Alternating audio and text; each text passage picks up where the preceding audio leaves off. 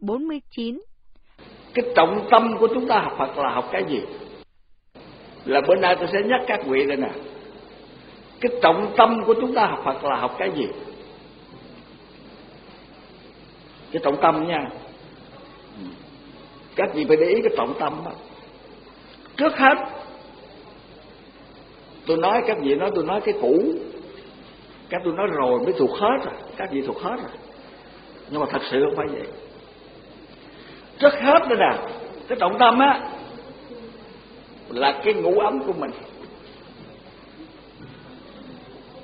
Kể cả tôi nói cho tôi chứ không phải tôi nói với các vị đâu. Mình thấy được cái ngũ ấm của mình là vô ngã chưa? Mình có tư duy được cái cái sắc ấm của mình là vô ngã chưa? Mà sắc ấm là gì cái đã? Nội đây có ai thuộc hết chưa? Rồi thọ ấm. Các vị thấy biết thọ ấm là cái gì chưa? Và có tư duy quán chiếu thấy được thọ ấm là vô ngã chưa? Tưởng ấm là cái gì? Ở đâu? Ở trong này có cái gì là tưởng ấm nó ở đâu? Các vị có tư duy chưa? Và có nhận thức được rằng nó là vô ngã chưa? Hành ấm là cái gì ở trong toàn thân ta. Nó ở đâu? Các vị có thiền định chưa? Tư duy tức là thiền định đấy. Có lấy nó làm cái đối tượng để soi rọi, để thiền định, để thấy cho được cái tính vô ngã của của của sắc ấm, của thọ ấm, của hành ấm, của tưởng ấm và hành ấm chưa? Thức ấm là cái gì? Thức ấm có bao nhiêu? Nó ở đâu nó làm sao? Các vị có tư duy có quán chiếu có thiền định thấy được cái tánh vô ngã hay là ngã hay là vô ngã của nó chưa? Đây. Gom lại tại sao ngũ ấm vô ngã còn ngũ quẩn lại dai không? Thế thì vô ngã à, ngũ ấm và ngũ quẩn là khác nhau chỗ nào?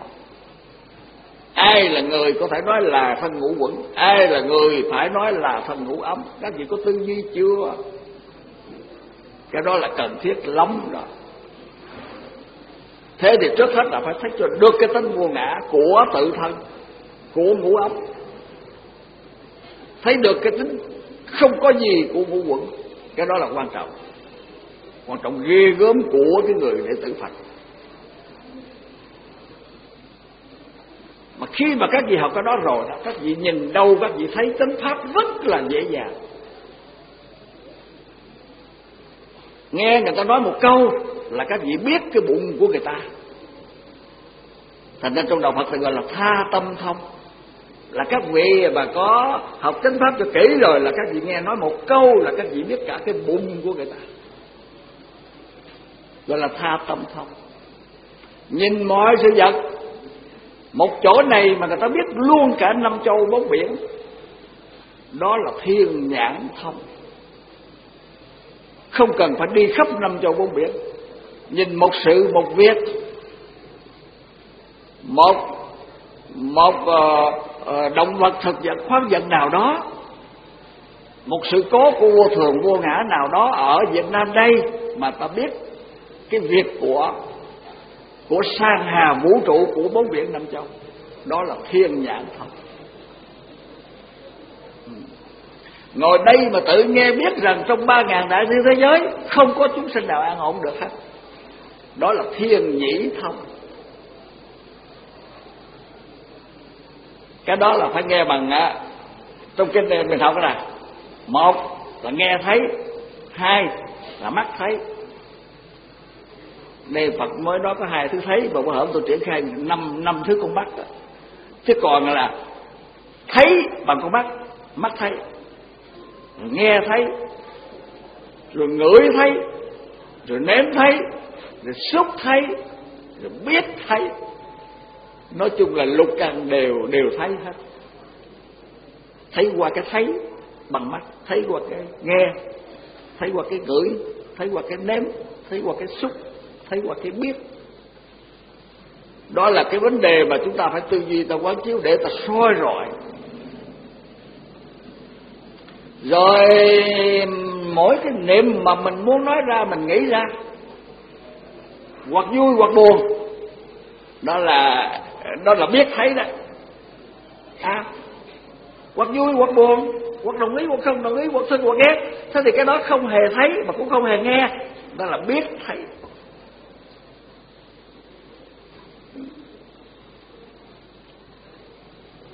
Mà cái biết thấy nó cũng tác hại, ghê gớm chứ không phải là à, là chỉ có mắt thấy mới có tác hại.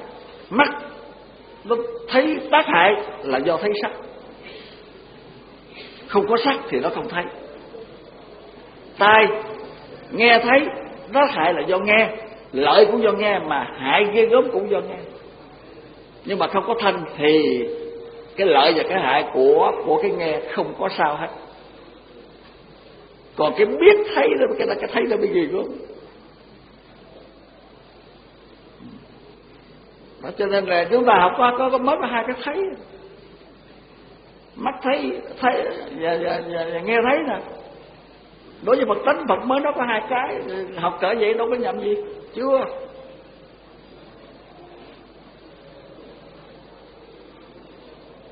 Thành ra các vị không có sao hết á. Các vị nào lớn tuổi không đi được, nghe lại băng cũ, dĩa cũ. Và cái vấn đề là tư duy quan chiếu. Rất hết là quan chiếu ngũ quận rồi còn tôi nói cái đối tượng quán chiếu, các vị để ý đây nè. Các vị có thể không thèm học nữa. Chi? Không thèm học nữa. Bây giờ lục cái như lai nguyên giá các vị ra kinh như lai viên giác là trong trong băng có rồi. Nhưng mà học như lai viên giác để các vị lấy cái gì, biết cái gì và để làm gì? Thế thì kinh kinh kinh kinh như lai viên giác nó có 12 chương đó. Dạy các vị là nhìn nhìn như cái hột xoàn mà phải nhìn bằng 12 cạnh đó là kinh như lai viên giác. Một cái hột xoàn mà đức phật dạy cho các vị đứng 12 cạnh 12 phía để nhìn một cái hột xoàn nhưng mà cái hột xoàn này hỏi nó màu gì? Thì nó là cái kinh kinh như lai viên giác đó. Các vị chỉ lấy cái chữ viên, cái chữ viên giác, diệu tâm. Cái đó là viên ngọc quý đó. Viên giác diệu tâm tức là cái tâm màu nhiệm. Cái tâm đó của ai cũng có cái tâm màu nhiệm đó. Mà tự tánh của cái tâm màu nhiệm đó đó, bất cứ của ai, đều là là nó có cái tánh giác ngộ viên mãn tròn đầy chữ chữ viên giác là là tỉnh thức, là giác ngộ. Chữ viên là tròn đầy cái chữ viên ở đâu nào mà phải học cho kỹ? Một hòn bi. Các vị nhìn phía nào cũng được. Nó là một viên học kim cương. Thì các vị nhìn phía nào cũng được cũng có màu sắc. Là, là, là chói màu sắc chói sáng và đẹp đẽ hết là tại vì nó có tính cách viên. Chứ nếu như nó không viên, mà nó dẹp, thì ở bên kia các vị nhìn cái dĩa vậy đây là thấy cái dĩa có cái bề này thôi. Nếu mà nhìn bên đây thì các vị thấy có cái bông này thôi. Vì sao gì nó là là cái dĩa này nó dẹp? Mà đức phật cho biết rằng là cái tâm của mọi người đều là tròn trịa, viên mãn. Cái cái giác tâm, giác tánh của các vị tròn trịa, viên mãn. Bản bản bản chất của nó là vậy. Nó màu nhiệm lắm. Diệu diệu tâm là cái tâm đó đó. Cái tâm các vị nó màu nhiệm lắm. Nó tròn đầy, nó viên mãn, nó thanh tịnh. Thì từ xưa ta gọi kinh viên giác là viên giác thôi. Rồi người ta để đại phương quảng viên giác tu đa la liễu nghĩa kinh. Tức là kinh viên giác là cái kinh liễu nghĩa, là cái kinh đại thừa. Thuộc về thuộc về kinh đại thừa, gọi là đại phương quảng. Viên giác là giác ngộ tròn đầy viên mãn, diệu tâm làm làm màu nhiệm. Rồi khi mà tôi viết thành giáo án, tôi để, bởi vì cái kinh đó nó có nó có năm cái thứ tên. Tôi để là như lai viên giác diệu tâm. Tức là cái tâm màu nhiệm, giác ngộ một cách viên mãn tròn này. Mà chữ như lai có nghĩa là bất biến mà tùy duyên tùy duyên mà bất bất biến. Thế thì cái đề kinh đó là là cái tâm của ta đấy cái tâm của chúng ta. Chúng ta học kinh như lai vi giác, diệu tâm là chúng ta nắm cái đề đó mình làm cái đề tài để tư duy, để tu tập, để quán chiếu, để soi rọi, để trở về với cái tâm màu nhiệm tròn đầy giác ngộ, sáng suốt, bất biến, tùy duyên tùy duyên, bất biến. Cho nên chúng ta có những lúc phiền não vô minh dày dày đặt đó chứ.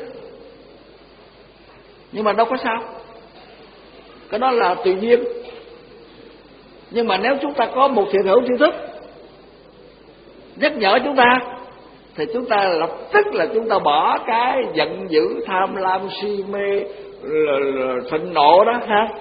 Chúng ta trở về với cái tâm thanh tịnh tròn đầy sáng suốt, vui vẻ của ta. Đó là cái nghĩa bất biến. Từ cái tùy duyên nó trở về cái thể bất biến nhưng mà nếu chúng ta không giữ vững chánh niệm, thì cái thể bất biến thanh tịnh của chúng ta, nó lại tùy duyên khác. Gặp mấy người bạn bè xấu ác nó rủ đi ăn, đi chơi, đi nhậu, đi nhảy, đi ca, đi múa, đi hát, đi sướng một cách nghĩa là gợi dục, gợi cảm rồi nó lôi kéo chúng ta. Đi vào con đường tội lỗi trị lạc bê tha. Thế thì từ cái thể bất biến của thanh tịnh nó lại tùy duyên. Trong khi tùy duyên xa hầm sụp hố trong hoàn cảnh xấu ác đau thương mà có thể hữu tri thích. Nhắc nhở ta chúng ta tỉnh thức. Chúng ta buông bỏ hết những cái những cái hành động tham sân si mạng nghi ừ, bê tha trị lạc đó thì chúng ta trở về lại cái thể bất biến. Đó là cái nghĩa của chữ như lai bất biến mà tùy duyên tùy duyên mà bất biến. Cái đó mọi người đều có.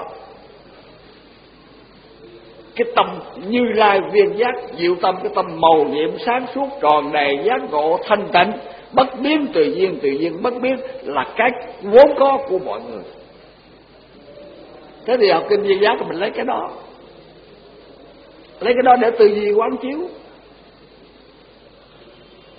rồi mình mình mình bình tĩnh những cái lúc mà mình đang buồn phiền đau khổ giận dữ ghét cay ghét đắng là là là, là, là, là, bất mãn bất bình ghê gớm lắm.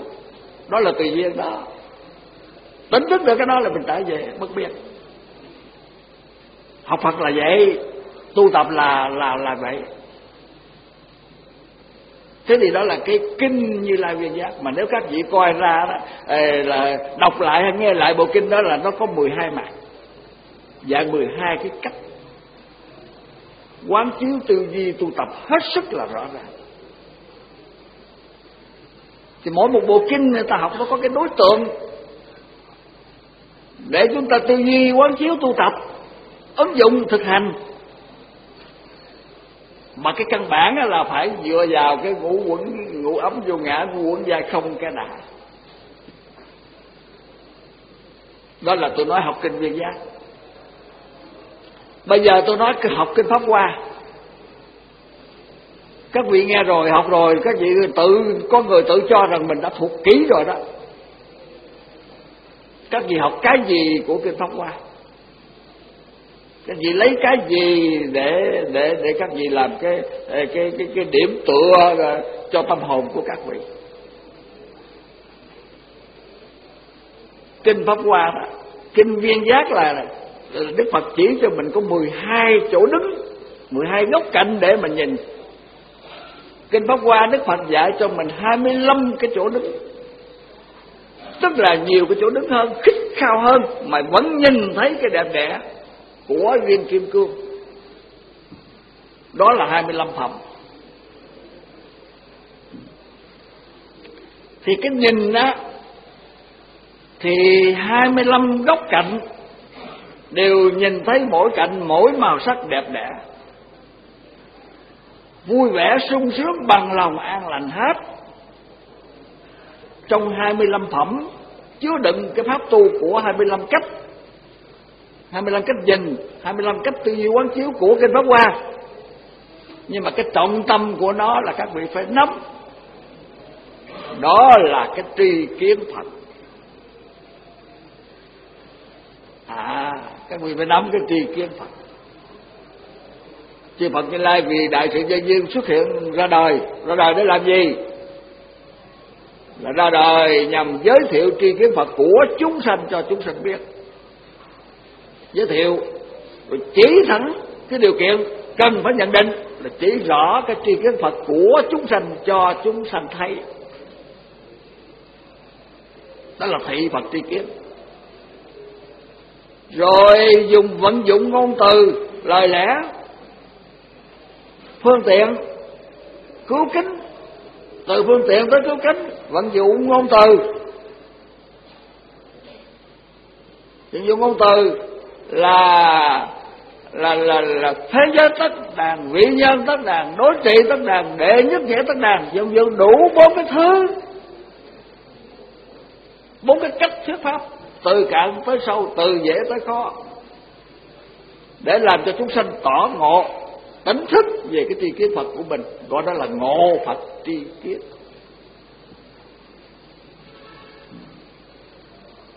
Học kinh Pháp Hoa phải ngộ được giới thiệu rồi. Được biết rồi được chỉ rồi. Cái đó mình phải ngộ. Ngộ tức là tỉnh thức phải, phải tỉnh thức rằng mình có tri kiến Phật. Còn còn nếu như mình ngồi mình học về là ba chục năm rồi mà mình không tỉnh thức mình không biết rằng mình có tri kiến phật thì gọi là không có ngộ.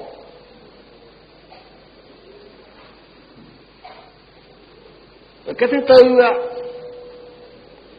là phải nhận thức cho kỹ cái tri kiến Phật của mình, rồi sống theo tri kiến Phật của mình, sống đúng tri kiến Phật của mình, sống phù hợp với tri kiến Phật của mình.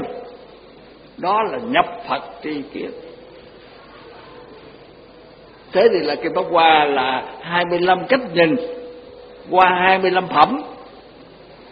Nhằm cái mục đích là giới thiệu tri kiến Phật chỉ rõ tri kiến Phật, làm cho chúng sanh tính thức tỏ ngộ tri kiến Phật vốn có của mình, và khiến cho chúng sanh mọi người tự sống theo, sống đúng và sống hợp cái tri kiến Phật của mình vốn có. Thế là các vị nghe đọc kinh pháp hoa phải nắm cái đó. Chứ đừng có ham tụng một bộ, một ngày. Đừng có ham tụng viết chữ mỗi chữ mỗi lại. Phật thứ ca không có ăn cơm ở đâu mà đi làm chuyện bánh lắp như vậy. Càng không nên ngu dại Mà lấy dao rạch cái máu của mình để giết kinh Pháp Hoa. Làm cái đó làm bậy dữ lắm. Trong đời là học đạo hành đạo của tôi tôi có thấy, có nghe và biết rõ những người đã làm vậy bạn tôi hồi đó. Mỗi lần bãi trường về ảnh lại ảnh khoe với tôi rằng tôi về kỳ này tôi ở chùa tôi tôi lại tôi lại pháp qua hỏi anh lại sao? Nói tôi lại một chữ lại. Tôi hỏi anh chữ lại anh làm sao rồi? Anh lại nó, nó thật. Cái anh lại thuyết. Cái anh lại lại pháp. Lại lại là vậy hả? Anh nói không phải không phải mình không phải là vậy mình nói phật thuyết pháp qua kinh là năm chữ cái mình lại năm lại. À, kinh này tôi nghe phật ở tại ê, kỳ xà quật tám chữ anh lại tám lại. À, đại, đại, để là lại pháp qua là vậy đó. Nhưng mà anh đó sau đó rồi anh học thời gian rồi anh về anh làm thợ mộc. Anh làm thợ mộc tới giờ mấy mươi năm rồi tôi kiếm anh không ra. Anh ở dĩ an ở Di an, hồi đó anh lại, anh về lại cái chùa cái chùa bùi bùi bửu anh ở cái chùa bùi bửu của ông ông phủ lố hồi xưa. Ông Phú lố có, bây giờ con ông Phú lố là cô cô hai đỏ, thường hay cúng cúng cúng chùa dữ lắm đấy mà anh đó là được được là con ông Phú lố ủng hộ tiền bạc dồi dào lắm chứ còn tôi là nghèo sơ sát không có đồng xu mua bánh mì. Còn ảnh là được được được ủng hộ dữ lắm mà anh buộc lòng phải lại vậy đó, lại vậy đó thì người ta mới quan nghênh, người ta mới ủng hộ, người ta mới cúng nhiều cho nên có tiền xài nhưng mà lại là lại cực mà không có hiểu kinh. Cho nên kết quả rồi thì qua cái giai đoạn cực khổ đó, rồi hết không còn gì nữa hết. Cho nên kinh pháp hoa không phải để để để lại từng chữ, cũng không phải để tụng nguyên bộ cũng không phải để chích máu giết để lấy phước trời phật ơi, biết bao nhiêu sai lầm ở trong cái đạo phật của ta. Do vậy cho nên tôi nói nha tu giới tu định tu tuệ, rồi phải tu giải thoát tri kiến. Giải thoát cho được cái tri kiến, tức là cái sai lầm á, rồi mới có giải thoát. Và nếu tu giới, cực khổ có tu định, mà định tầm bậy, định tật đối tượng thì không ăn thua gì. Mà định mà trật đối tượng thì cái trí tuệ cũng là trí tuệ ngu si. Cũng sức trí tuệ nhưng mà trí tuệ ngu si. Trí tuệ nó hiểu sai chân lý, nó cũng cho rằng nó hiểu vậy. Nó cũng tự tin rằng nó hiểu vậy mà nó không đúng chân lý. Thì không gọi là, không là là trơn trí tuệ. Rồi á, mà không có cái trí tuệ mà chánh á, chân chánh của trí tuệ đó, thì cái hiểu về chân lý nó không có. Gọi là không có giải thoát được cái tri kiến không có mở mang được cái tri kiến. Không có nhận thức được chân lý. Mà không có giải thoát tri kiến là không có giải thoát con người. Cũng như đức phật muốn có được bồ, là cái địa vị phật, vô thượng chánh đẳng chánh giác là phải giải thoát tri kiến trước. Cho nên trước hết phải thấy được, phải phải chứng được thiền nhãn thông trước. Phải chứng được tha tâm thông trước phải chứng được túc mệnh thông, phải chứng được thần túc thông, phải chứng được lầu tận thông, phải chứng được là tha tâm thông. Thế là anh mới có cái nhìn chơn chính, anh phải có sáu cái thứ lục thông, ba cái thứ tam đạt, thì anh mới không sai lầm chân lý. Mà không sai lầm chân lý tức là anh giải thoát được tri kiến, tức là anh có được bồ đề đức rồi đó từ anh có cái bồ đề đức, anh có cái trí tuệ, cũng gọi là trí đức. Cuộc sống anh hoàn toàn không có sai lầm.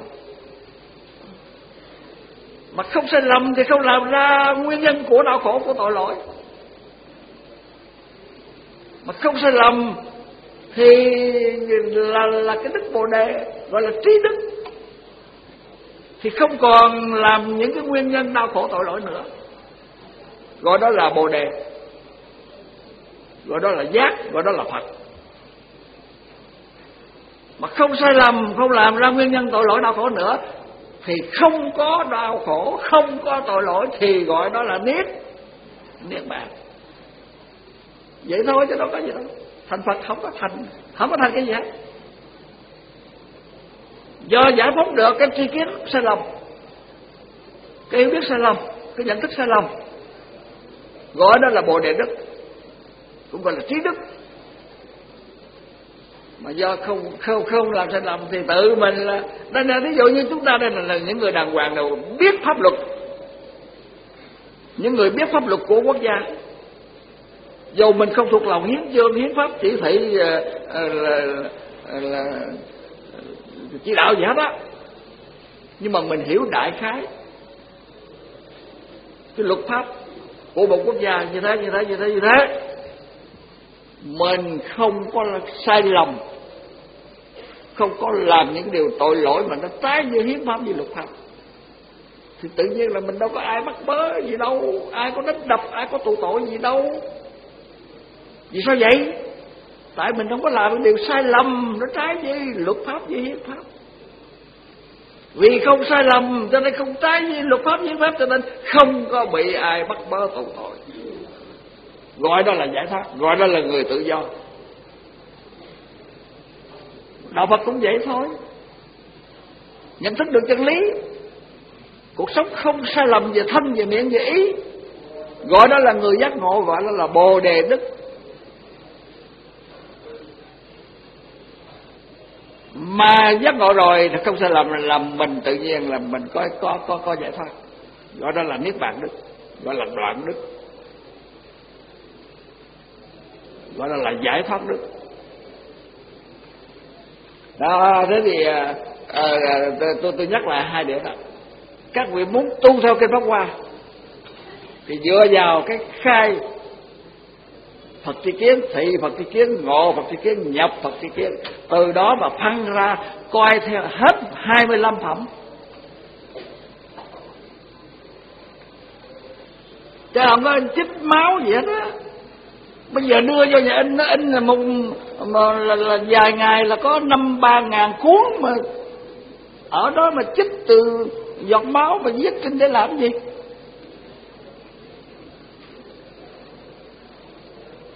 Tôi bỏ tiền ra mấy triệu bạc là tôi in mấy.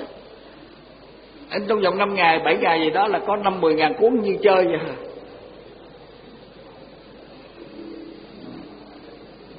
Mình học cái pháp, pháp qua là vậy. Rồi nếu mà các vị muốn nhìn thêm một mặt nữa phải không?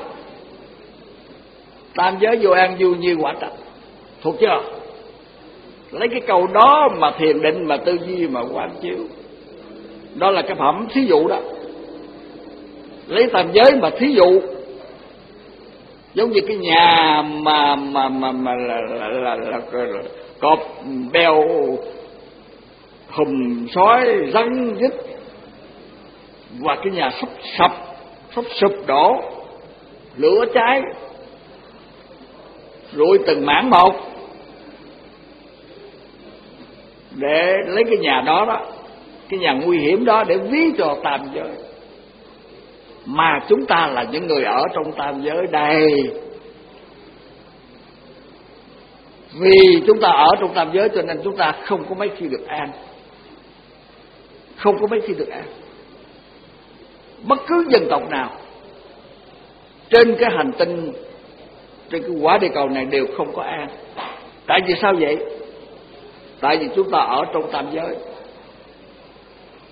ở trong cái tâm trạng của những người hoàn đầy nhảy dục vọng tham muốn. Mà đầy nhảy dục vọng tham muốn á, thì là mình tham muốn được cho mình thì người khác cũng tham muốn được cho người ta lợi cho người ta được cho người ta. Rồi người kia cũng tham muốn lợi cho người ta được cho người ta cho đất nước người ta cho bản thân người ta cho gia đình người ta. Thế thì nó thành ra cái sự cạnh tranh. Cái sự đấu cấu sự cạnh tranh rồi thì thì nói nặng nói nhẹ rồi nó đi tới mức nữa đó là đánh đập. Đi tới mức nữa là đâm chém. Mà đâm chém mà thấy nó nó, nó, nó lâu nó lâu thành tựu quá. Thì chế ra súng đại bác thành công. Mà đại bác thành công bắn cũng từ đạn từ đạn lâu quá. Bây giờ chế ra một cái loại mà bắn ra một cái thì nó diệt một lần nghĩa là cả trăm cả trăm người mà cách trăm người cũng ít quá thì chế là nguyên tử. Nó giả xuống một cái như Hiroshima, Nagasaki đó, là cả một trăm một trăm ngàn người, một cái một. Mà đời nay đó, nó giả một cái đó là cả triệu người một cái một. Thế thì phát xuất cũng từ ra là cái cạnh tranh, cái tham muốn, cái cái giành giật lẫn nhau. Đấy, cho nên là là có dục của bà. Có dục thì tất cả chúng ta cùng dục. Tôi tôi tôi dục, anh dục chúng nó dục. Tất cả chúng ta cùng dục. Cùng dục vọng như nhau thì đấu cấu, cạnh tranh, giết chóc lẫn nhau là chuyện bình thường. Do vậy cho nên là còn ở trong dục giới là không an. Không an. Đấy, học kinh pháp qua là vậy đấy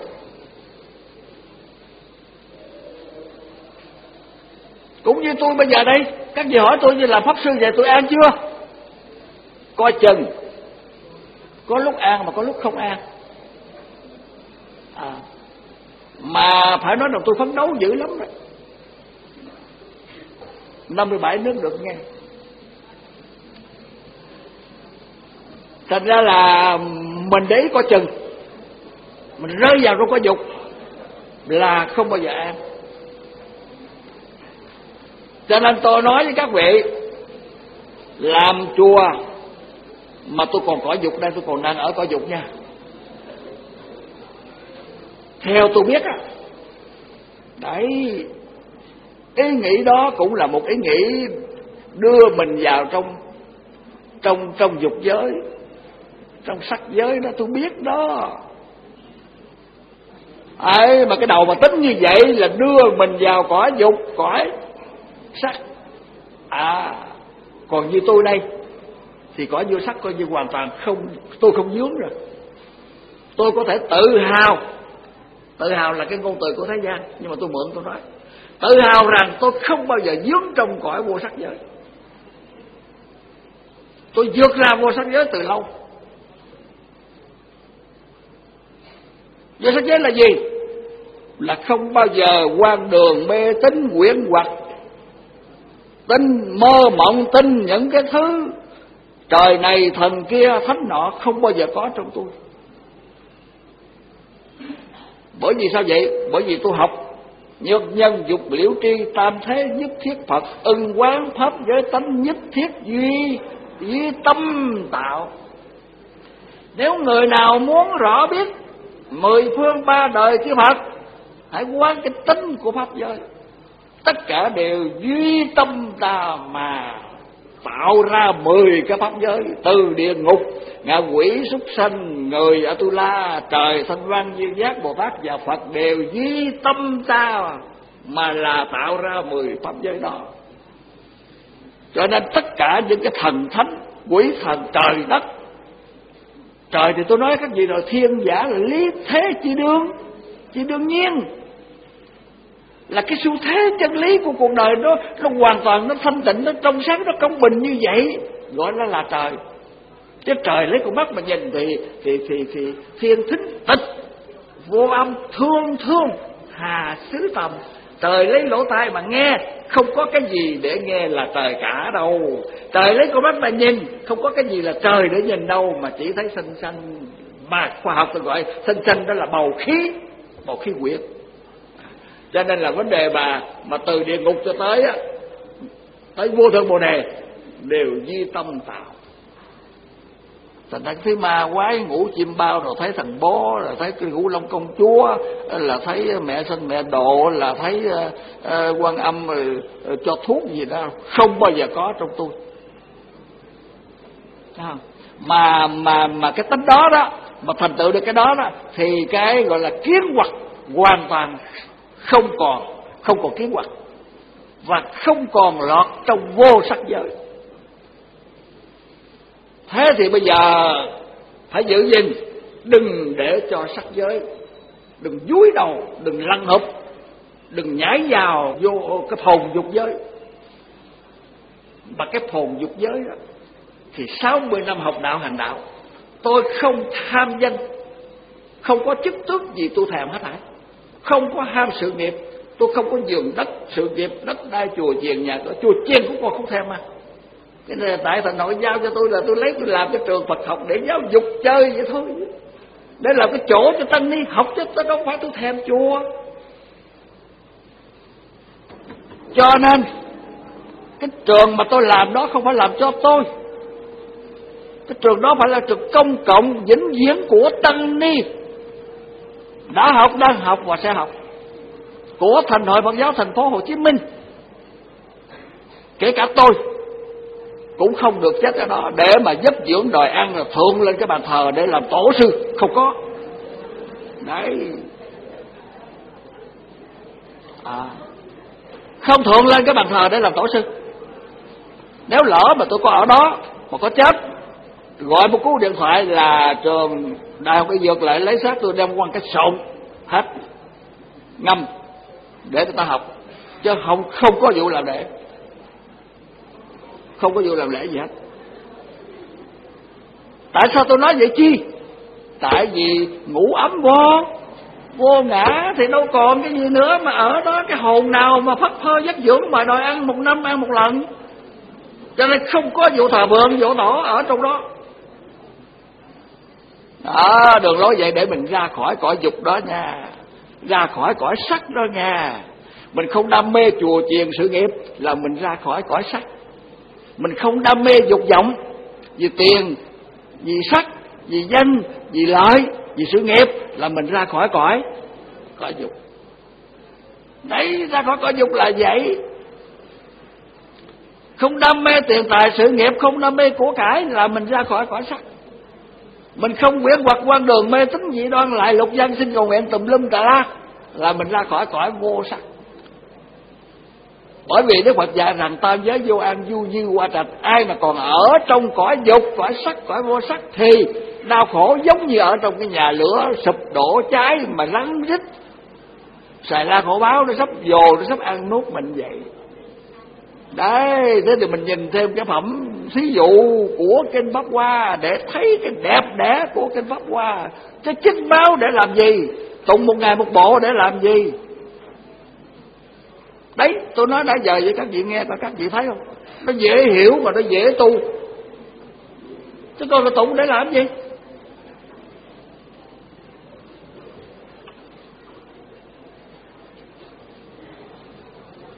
Cái trường đúng danh là trường Phật học có bản đàng hoàng, có số đàng hoàng, sừng sững hiên ngang.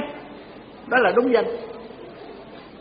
Đúng nghĩa là trường để dạy kinh, luật, luận, đào tạo, tam tạng giáo điển cho tăng ni sinh học.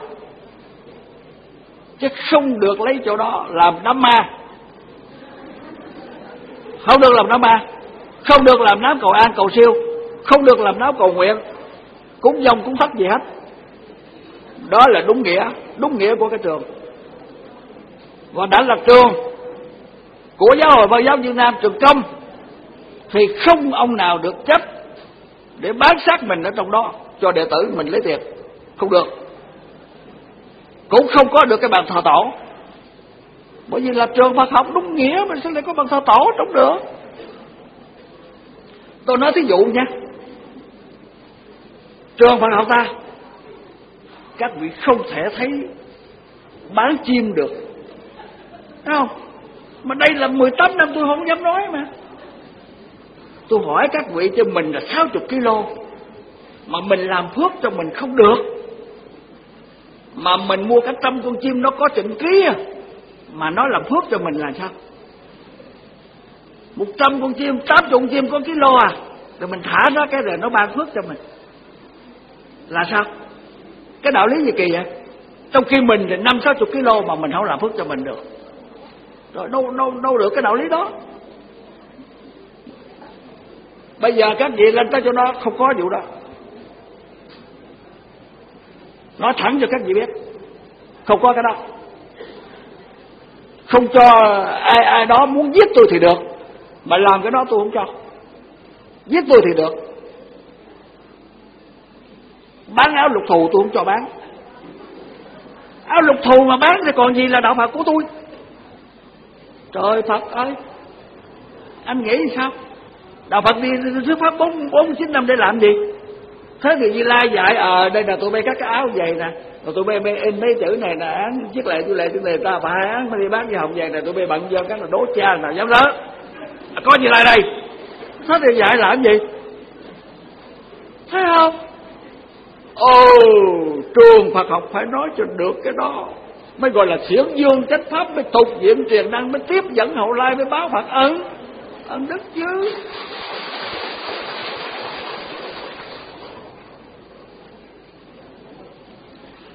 Và dứt khoát rằng là tôi sửa cái chùa thiên minh là thiên minh thiền viện.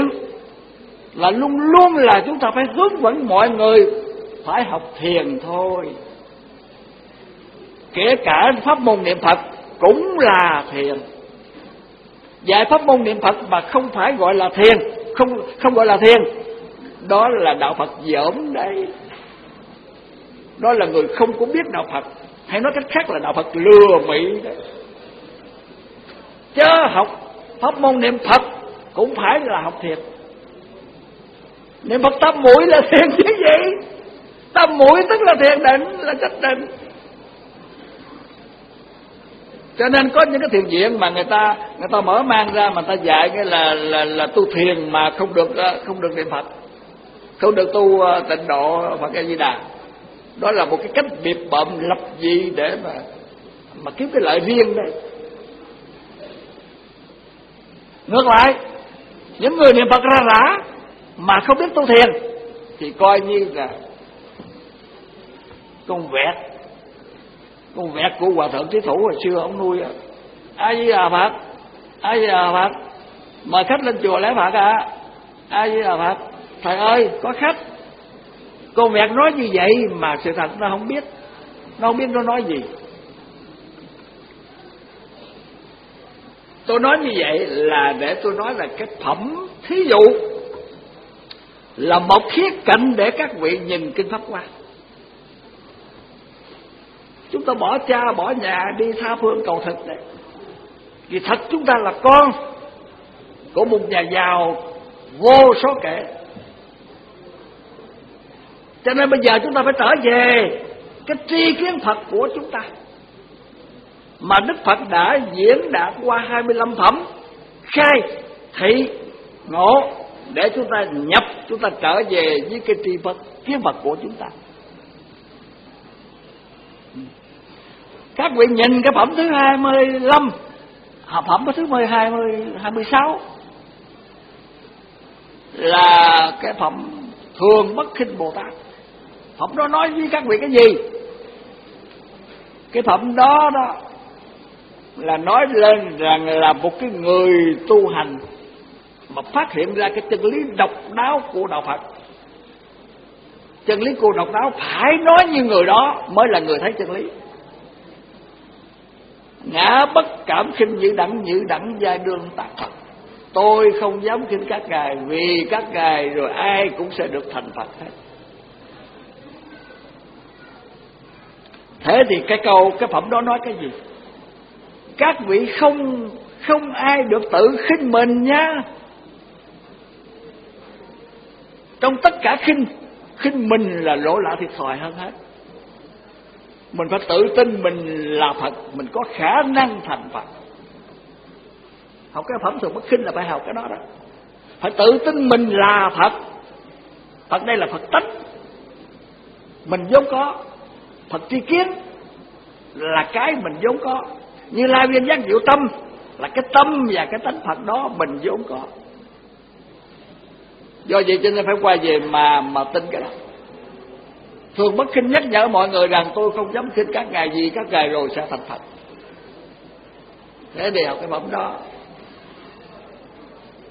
Trở về soi rọi cái phật tâm cái phật tánh của chúng ta. Đấy. cho nên là cái pháp qua đấy là các vị phải lấy cái khai thị ngộ nhập Phật tri kiến rồi đọc hết đọc hết rồi các vị lấy từng phẩm từng phẩm từng phẩm. Rồi kinh kinh pháp qua nó còn cái phẩm mà diệu âm quan thế âm nó, nó màu nhiệm vô cùng chứ đâu có phải mà quan thế âm mà học cái kiểu mà lơ tơ mơ mà được đâu. Thành ra các vị để ý không sao hết á các vị nào mà nữa mà cái điều kiện mà đi trên kia mà khó đấy thì cứ lấy kinh pháp hoa ra nghe lấy kinh như lai viên giác diệu tâm ra nghe lấy kinh uh, duy ma cật nghe lấy kinh kim cang bát nhã ra nghe lấy như thức học ra nghe. Không sao hết.